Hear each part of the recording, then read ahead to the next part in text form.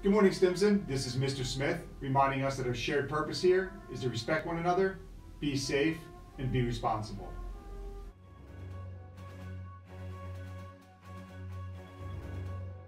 The Stimsons baseball team defeated Lindenhurst Green by a score of 15 to 0. J.D. Duffy had an outstanding pitching performance while the team's offense was led by Michael Carr, Carter Phillips, and Lucian. Cyr. All of the players on the team did a tremendous job. Keep up the great work.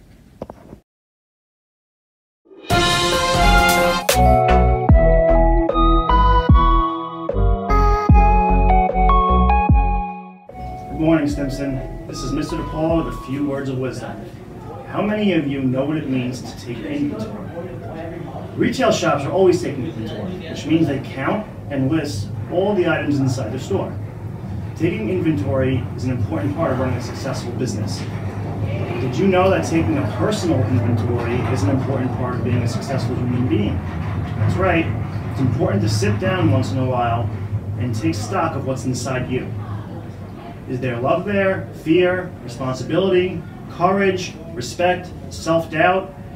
Regardless of what's happened in the past what may happen in the future, what's inside you right now is what really counts. Famous American author Ralph Waldo Emerson said this way What lies behind us and what lies before us are tiny matters compared to what lies inside us. So, what lies inside you? Today, take the time to do a personal inventory.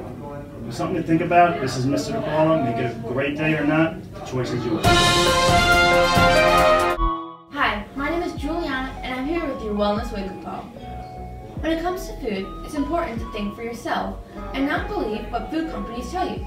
They just want to sell the products and make money. They are usually very successful in duping or brainwashing most of America's youth and see you as the bullseye of the target. You can be different. Thinking for yourself means that they did not succeed in hoodwinking you.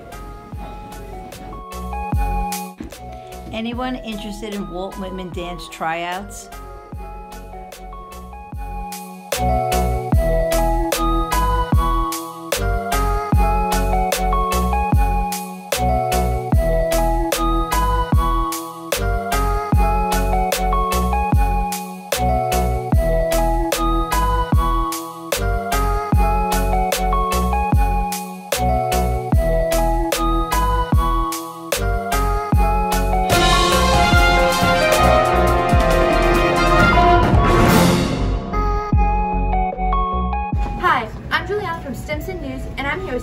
Here with 7th grader Sarah.